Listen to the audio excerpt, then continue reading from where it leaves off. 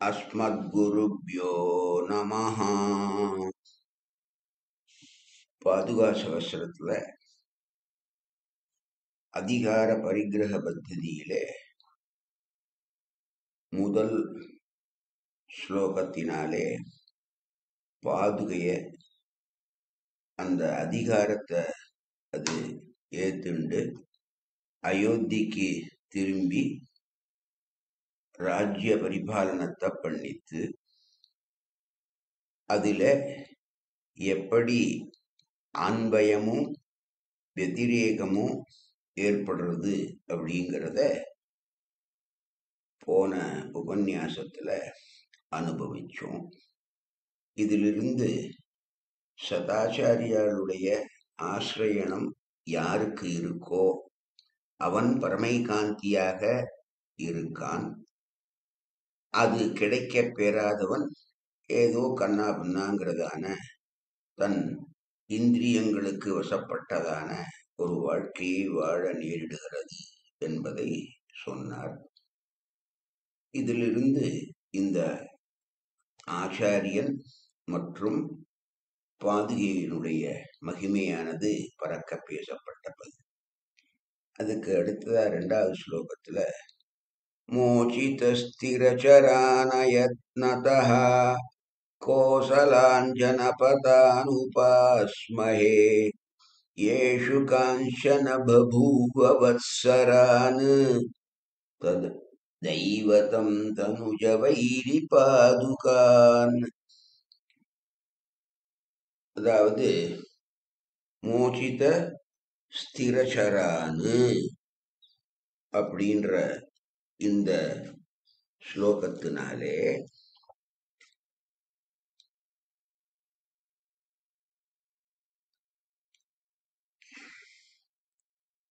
அயத்னதா எந்த விதமான ஒரு பெரிய பிரயாசம் அல்லது முயற்சி இல்லாமல் கர்மயோகம் முதலானவைகள் இல்லாமல் மோச்சித இந்த சம்சாரத்திலிருந்து விடுவிக்கப்பட்டிருக்கிறதான ஸ்திர நிலை இருப்பதென்ன?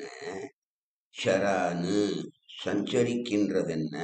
இவைகளை கொண்டதான கோசலான் ஜனபதானு கோசல தேசங்களை அந்த கோசல தேசத்தில் உள்ள அனைத்து சேதன அச்சேதன வஸ்துக்களையும் உபாஸ்மஹே நாங்கள் தியானிக்கிறோம்.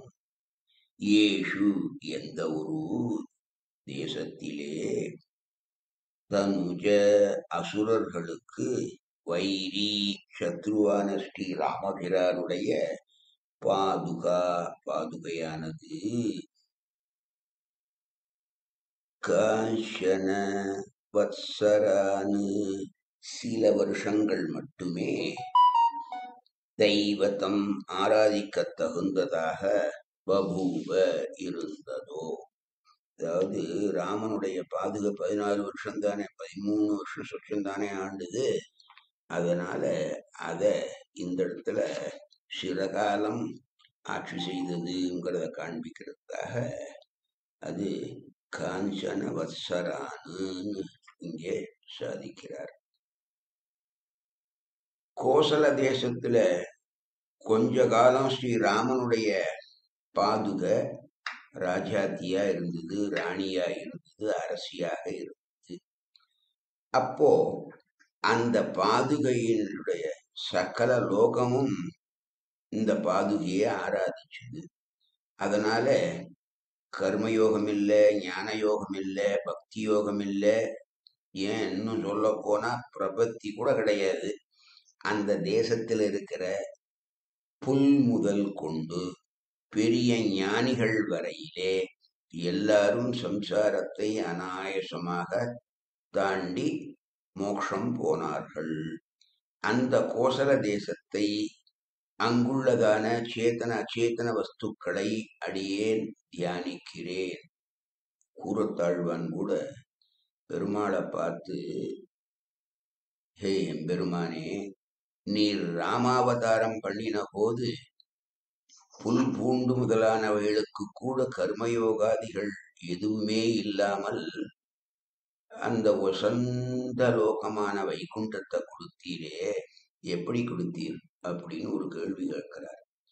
அதுக்கு தேசிகன் இந்த ஸ்லோகத்துல அந்த கூறத்தாழ்வானுடைய கேள்விக்கும் சமாதானம் சாதிக்கிற மாதிரி அமைந்திருக்கு. இந்த ஸ்லோகம். ஸ்ரீ சக்கரவர்த்தி திருமகன் ஒரு சங்கடமான சமயத்திலே பாதுகை ராஜ்யத்தை ஒப்புக்கொள்ளும்படி சாதித்தார். கொஞ்ச காலம் சிம்மாசனத்தில் இருந்துவிட்டு மறுபடியும் கீழ்ப்படியில் வருவானேன். அது எனக்கு வேண்டாம். ஆனாலும் என் இஷ்டப்படி நடக்க எனக்கு அதிகாரம் கொடுத்தால் போறேன் அப்படிங்கிறதாக பாதுக மனசுல நினைச்சுடுதான் எம்பெருமான் தான் சர்வஜனாச்சே அவன் பாதுகை இப்படி மனசுல நினைக்கிறதுங்கிறத தெரிஞ்சுக்கிண்டு ராமனும் சரி நீ எப்படி நினைக்கிறியோ அப்படியே ஆகட்டும்னு சாதிச்சாராம். அதனால தன்னை போன்ற அச்சேதனங்கள் எல்லாவற்றிற்கும் நல்ல கதியை கொடுத்து விட்டது. இங்கே பாதுகாதேவி பாதுகாதேவி எம்பெருமானுடைய சாட்சாத் பத்தினின்னு சொல்லிட்டு வந்த நம் சுவாமி தேசிகன் இந்த பாதுகைய அகிரணையாக ஒரு ஜடவஸ்துவாக இந்த இடத்துல உருவகப்படுத்திக்கிறார்.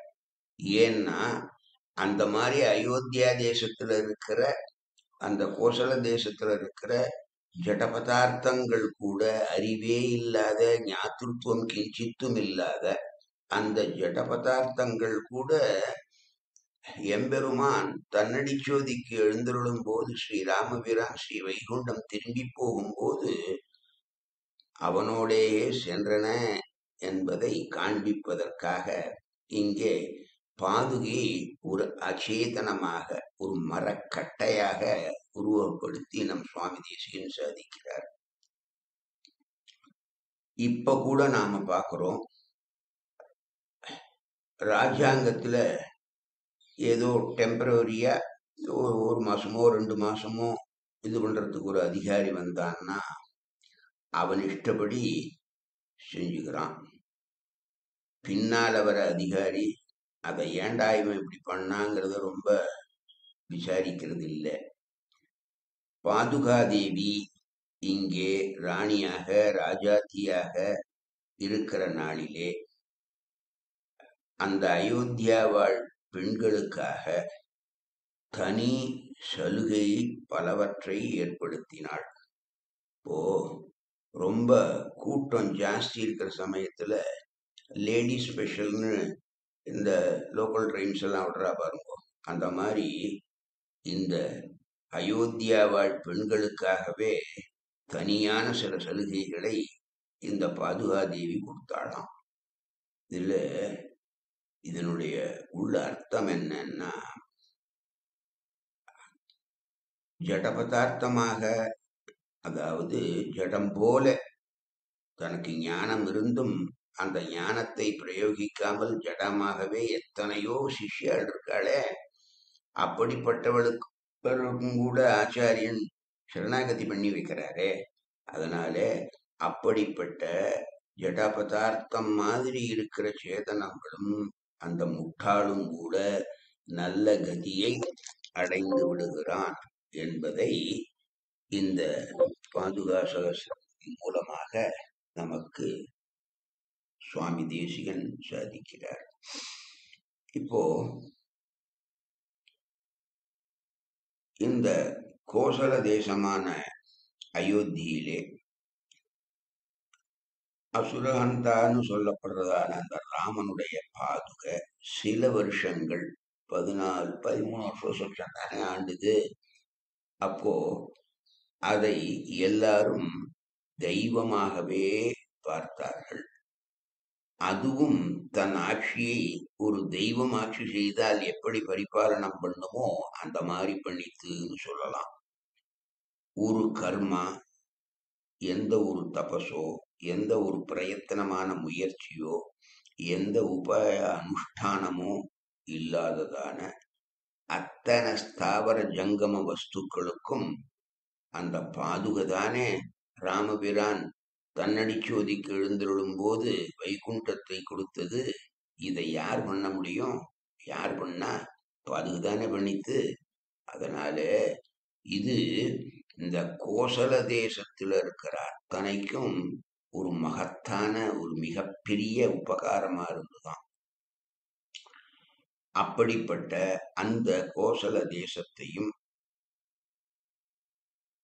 அதிலே அப்பொழுது வாழ்ந்த இந்த சராச்சர வஸ்துக்களையும் நாம் உபாசிப்போம் அப்படின்னு சுவாமி தேசியன் அபிப்பிராயப்படுறார். நமக்கு அயோத்தியிலே வாசமில்லை. அயோத்தியிலே ஒரு வீடு கிடையாது. நமக்கு அங்க இருக்கிறதுக்கு இடமும் இல்லை. அப்படி இருக்கும்போது அந்த உத்தம தேசத்தை மனதாலே நினைத்து உபாசனம் பண்ணினால் அந்த புண்ணியம் நமக்கு கிடைக்குமே. அதனாலே நாம் உஜ்ஜீவிக்கலாமே அப்படிங்கிறதான ஒரு உத்வேகம் ஏற்பட்டு சாதிக்கிறார் சுவாமி. பாதுகாதேவி இந்த பதிமூணு சொச்ச வருஷம் நாட்டை ஆண்டதுனாலே எத்தனை பெரிய லாபம் அந்த அயோத்தியாவாழ் மக்களுக்கு ஏற்பட்டது என்பதை நம்மாழ்வார் தன்னுடைய திருவாய்மொழியிலே கற்பார் இராமபிரானையல்லால் மற்றும் கற்பரோ புட்பா முதலா புல்லரும்பாதி ஒன்னுண்ணியே நற்பாலயோத்தியில் வாழும் சராசரம் முற்றவும் நற்பாலுக்கு உய்த்தனன் நான் முகனார் பெற்ற நாட்டுளேன்னு அதி அற்புதமா சாதிக்கிறார் தெய்வத்தை துதிக்க வேணும்னு நினைக்கிறவன் ராமபிரான எல்லா இன்னொரு தெய்வத்தை தேர்ந்தெடுப்பானா? என்ன? நிச்சயம் பண்ண மாட்டான். ஆனால் கற்பவன் ராமபிரானை அல்லால் மற்றொரு தெய்வத்தை கற்பதில்லை அப்படின்னு சொல்லி. ஏன்னா புல் முதற்கொண்டு பெரிய ஞானி வரையிலே எறும்பு முதற்கொண்டு நல்ல வித்வாம்சம் உள்ளவர்கள் வரையிலே ஒன்று கூட மீதி இல்லாமல் நற் அயோத்தியிலே வாழ்கின்ற இந்த அசையும் அசையா பொருள்கள் அத்தனைக்கும் மோட்சத்தை கொடுத்தானே நற்பாலு குய்த்தானே அவனை இது அதி அற்புதமாக நம்மாழ்வார் தன்னுடைய பாசுரத்திலே சொல்கிறார்.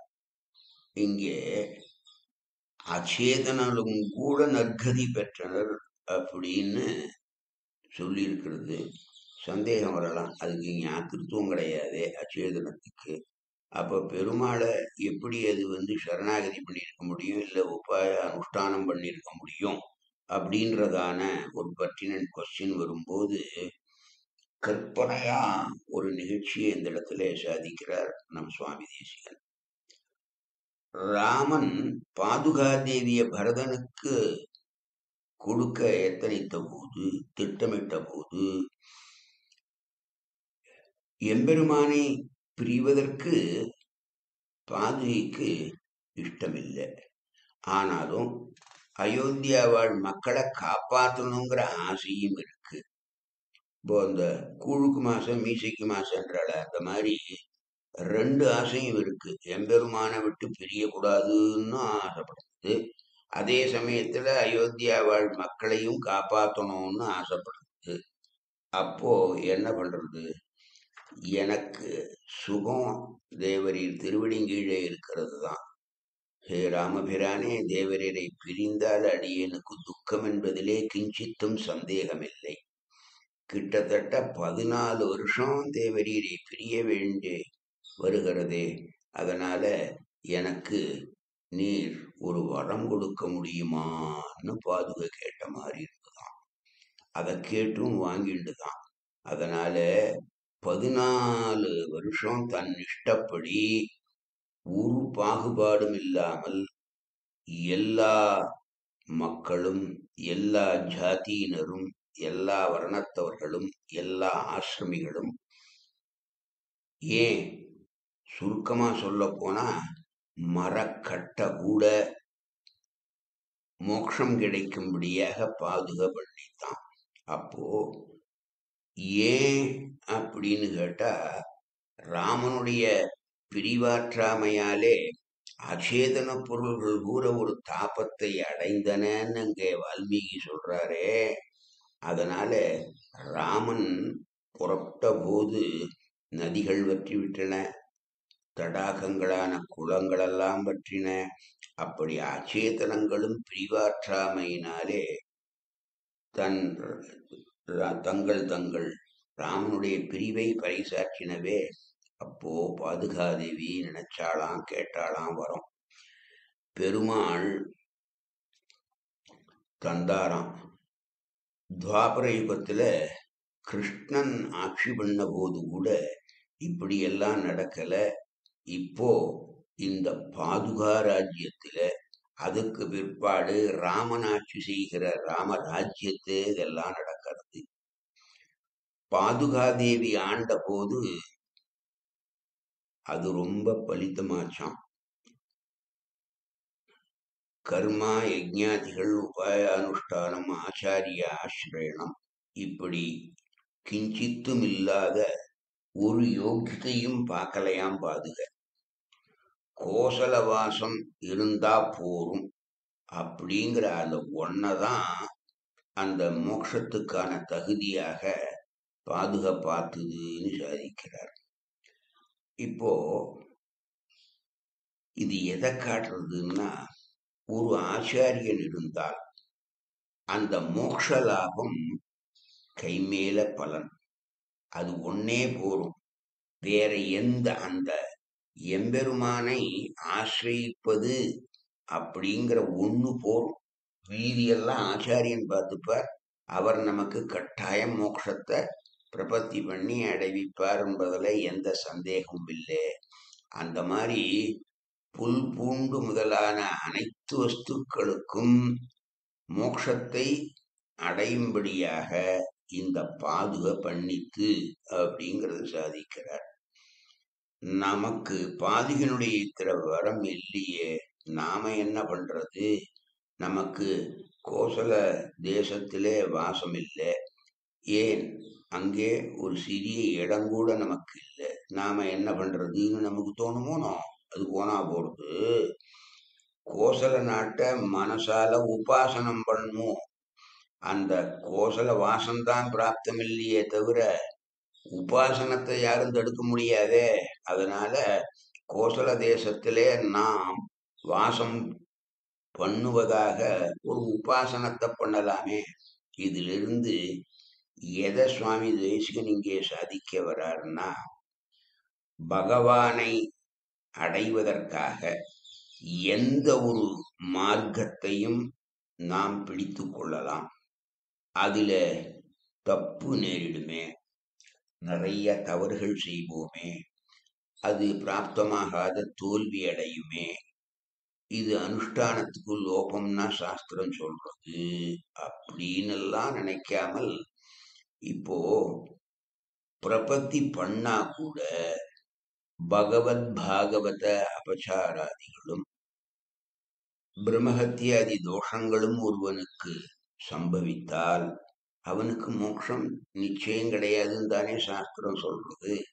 அப்போ ஆச்சாரியனை நாம கெட்டியமா பிடிச்சுட்டோம்னா இந்த லோபங்கள்லாம் நமக்கு ஒரு காலமும் நிகழாது. அதிலிருந்து அப்படி அந்த தோஷங்களை நாம் பண்ணுவதற்கு அவகாசமே ஆச்சாரியன் கொடுக்க மாட்டாராம். அதனால அப்படியே நம்மளுடைய அறியாமலேயே ஏற்பட்டாலும் கூட அதை பிராயச்சித்தாதி ரூபமா சமனம் பண்ணி அந்த ஆச்சாரியன் அந்த சிஷ்யனுக்கு நிச்சயம் மோட்சத்தை கொடுப்பான் அப்படிங்கிறதுல எந்த விதமான சந்தேகமும் இல்லை. அதை வலியுறுத்துகின்ற நோக்கத்திலேயே சுவாமி தேசிகன் இந்த கோசல நாட்டையே உபாசனம் பண்ணுங்கோள் என்று சொல்லுகிறார் அப்படின்னு வச்சுட்டு இந்த பாதுகா அதிகார பரிகார பத்தினுடைய இரண்டாவது ஸ்லோகத்தை தலை கட்டுகிறேன் கவிதார்கிய சிம்ஹாய கல்யாண குணசாரிணே ஸ்ரீமதே வெங்கடேஷாய வேதாந்த குரவே நம.